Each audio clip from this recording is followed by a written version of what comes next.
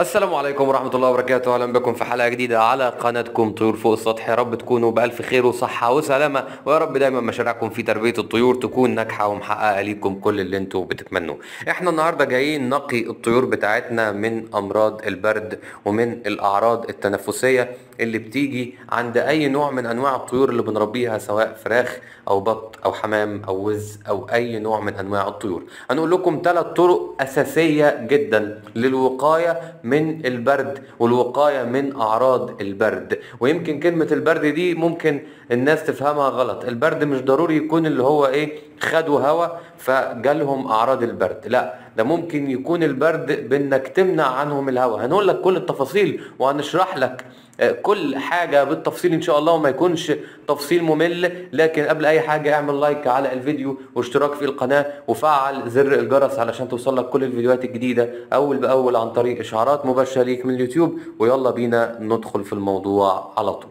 مبدئيا لازم نتفق مع بعض إن البرد اللي عند الطيور مش ضروري يكون إن هم عندهم برد يعني خدوا هواء سائع في هواء سائع خبط فيهم أو هواء مباشر زي ما بنقول كده التهوية المباشرة مضرة على الطيور. مش ضروري يكون كده ممكن يكون مفيش هواء أصلا وياخدوا برد. يعني ممكن الطيور ما يدخلهاش هواء أصلا خالص. وبرضه يجي لهم أعراض تنفسية. لكن الأعراض التنفسية اللي هتجيلهم مش هتجيلهم بسبب ال ال انخفاض درجات الحرارة أو بسبب لطشه برد خدوها لا. هتجيلهم بسبب إن مفيش أكسجين كفاية في المكان. ركز معايا بس في التفاصيل علشان تبقى فاهم كويس قوي إزاي ممكن تقي الطيور بتاعتك من أعراض البرد ومن مشاكل البرد اللي هي ممكن ما تكونش أصلا بسبب البرد. يعني لازم تفهم التركاية دي علشان تعرف تعالج الطيور بتاعتك كويس جدا. أول حاجة معانا هنتكلم فيها إننا لازم نوسع المكان شوية. ما ينفعش يبقى المكان ضيق. بأي شكل من الأشكال. قبل كده عملنا لكم فيديوهات سابقة على قناة طيور فوق السطح اتكلمنا فيها عن قد إيه أنت محتاج لكل متر مربع. قد إيه أنت محتاج من الطيور أو لو عندك مثلا 10 10 فرخات مثلا وديك محتاج لهم مساحة قد إيه وهم صغيرين ولما يكبروا محتاج لهم مساحة قد إيه. اتكلمنا عن الموضوع ده بالتفصيل ممكن ترجعوا له على القناة. لكن باختصار شديد أنت بقى وتقديرك لأن إحنا أكيد مش هنظبط مساحات السطح بتاعنا على على مزاج الطيور لكن لازم ناخد بالنا على الأقل تبقى المساحة على قدهم. يعني يكون المكان واسع كده وشرح وبرح على قدهم ما يكونش المكان ضيق عليهم. لأن لو المكان ضيق عليهم الأكسجين مش هيبقى كفاية في المكان. وده أول حاجة ممكن نساعد بيها الطيور للوقاية من أمراض البرد أو من أعراض البرد اللي ممكن تجي لهم وهي توسيع المكان الضيق. لو المكان كويس وواسع عندك يبقى خلاص. انت مش هتعمل ده لأن انت كده خلاص تجنبت أول سبب ممكن يمنعك إنك تقي الطيور بتاعتك من أعراض البرد. كمان يا جماعة في حاجة مهمة جدا اسمها التهوية والشمس والتهوية والشمس مع بعض كده. يعني الكوليكشن مع بعض كده مش كل حاجة لوحدها لا. التهوية والشمس مع بعض. إحنا طبعا لسه البرد موجود لسه البرد موجود. يعني ما ينفعش نقول إن الحر دخل.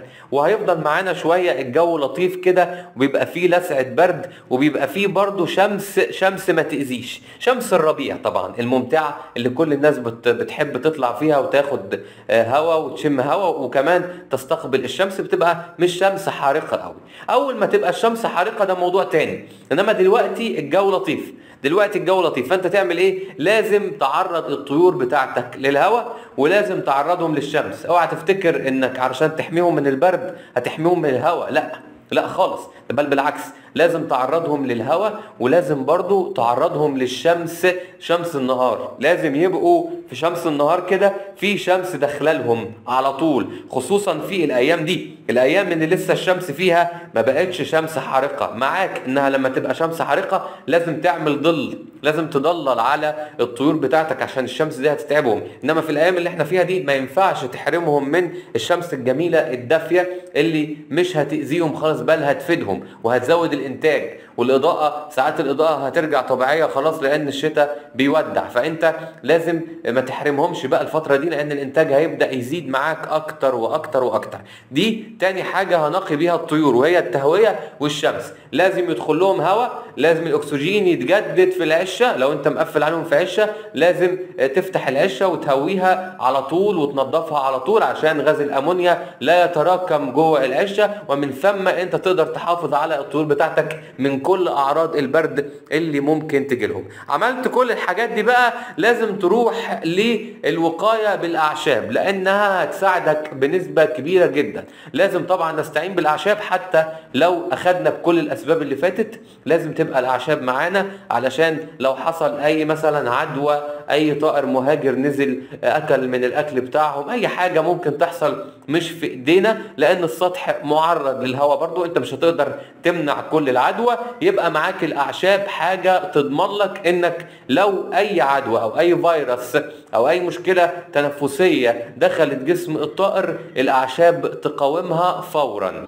إزاي بقى تستخدم الأعشاب؟ فالأعشاب اللي هي لها علاقة بالتنفس والمشاكل التنفسية أعشاب كتيرة جدا ومشهورة جدا. بتبدأ من النعناع وممكن برضو الريحان. الريحان قوي جدا وفعال جدا في الوقاية ضد المشاكل التنفسية وكمان العلاج ضد المشاكل التنفسية. كمان اليانسون وطبعا الليمون. الليمون ده البرنس الكبير. الفيتامين C مهم جدا للطيور. وطبعا لو عندك بواقي برتقان أو قشر برتقان ممكن تستغلها لكن يفضل تاخد الليمون تغسل الليمون كويس وتعصره وتعصره بالقشرة بتاعته وتاخد العصير وتحطه على السقايات. ده مفيد جدا يا جماعة مفيد جدا للطيور. وعندك باقي الأعشاب اللي هي النعناع والريحان واليانسون دول ممكن يدغلوا.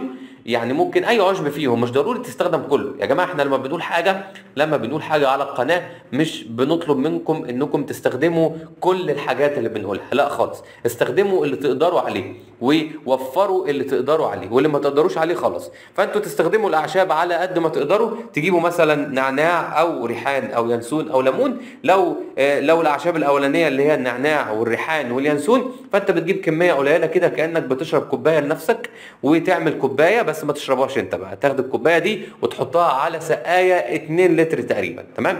على حسب طبعا تركيز ال ال النعناع أو الريحان أو اليانسون اللي انت عامله. المهم إن المية اللي انت هتحطها للطيور طعمها ما يتغيرش قوي فاهمني؟ يعني طعم المية ما يتغيرش قوي بالنسبة له يبقى في تغيير طفيف كده يعني بسبب إضافة الأعشاب.